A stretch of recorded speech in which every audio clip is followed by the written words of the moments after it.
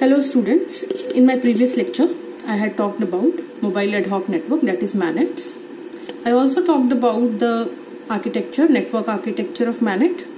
Today I'll talk about a very important concept that is hidden node and exposed node problem in mobile ad hoc network. First of all, I'll tell you what the hidden node problem is.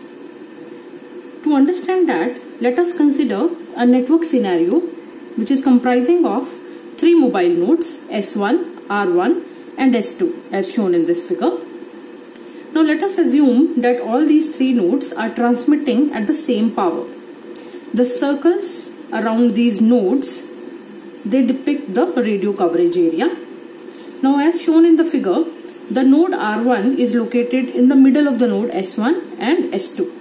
In other words, node R1 lies in the coverage radio coverage area of node S1 as well as node S2. The node R1 can transmit the can receive the transmissions from both the nodes S1 as well as S2 but S1 and S2 they cannot receive transmissions from each other because S1 happens to be out of the range of S2 and similarly S2 is out of the range of S1.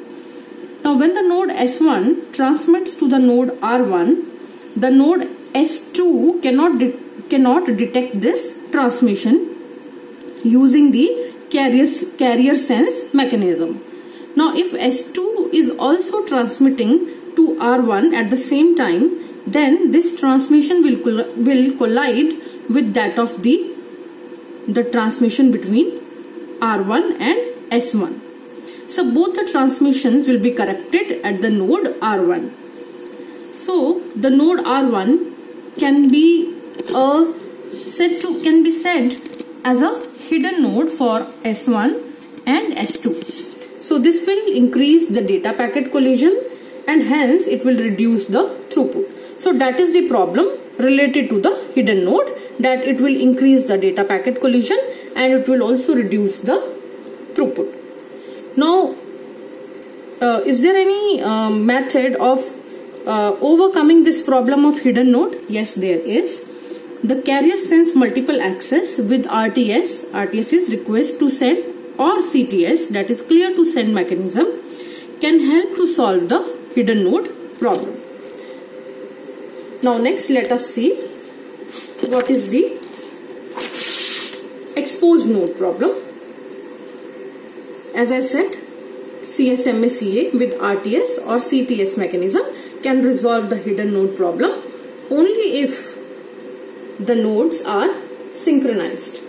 Now when the node receive an RTS packet, data packet from the neighboring node but not the corresponding CTS that is clear to send data packet is received then the node can deduce that it is an exposed node and it is permitted to transmit to the other neighboring nodes. But now the second case is when the nodes are not synchronized. When, for example, if the nodes are not synchronized, then the problem may occur that the sender that the sender may not receive the clear to send data packet or the acknowledgement packet during the transmission of the second node. Okay. Now in the wireless network, the exposed node problem occurs when a node is prevented from sending the packets to the other nodes due to a neighboring transmitter. Remember this, I am repeating again. In a wireless network, the exposed node problem occurs when a node is prevented from sending the packets to the other nodes due to the due to a neighboring transmitter. To help understand this exposed node problem, let us consider an example of four nodes as shown here in this diagram and they are labeled as R1, S1, S2 and R2. Now as shown in this diagram, the two nodes are out of the range of each other. That is, the node R1 is out of range of node R2 and vice versa. That means R2 is out of range of R1 as well.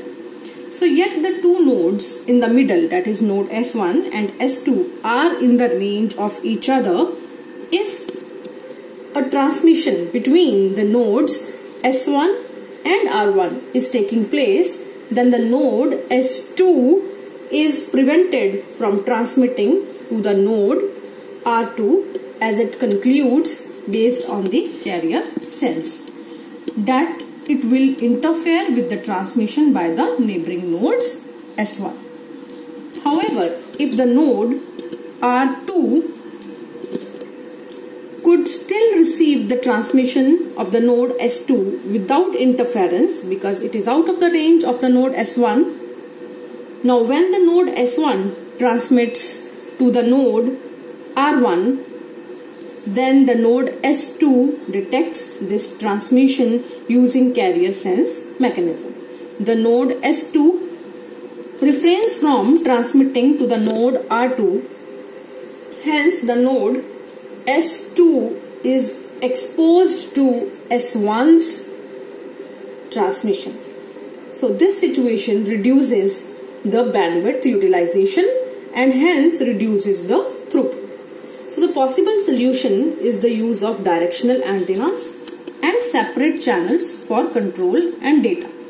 So modified CSMA-CA with RTS and CTS mechanism also help to resolve the exposed node problem. The duration of the data transfer is included in the RTS or CTS control packet itself which instructs the other nodes not to trans transmit for this particular duration. So if a RTS or CTS packet collides, then the nodes wait for a random time which is calculated using the binary exponential backoff algorithm and this scheme is known as MACA that is multiple access collision avoidance MACA MACA that is multiple access collision avoidance. Thank you. I hope the concept is clear to you. Thanks.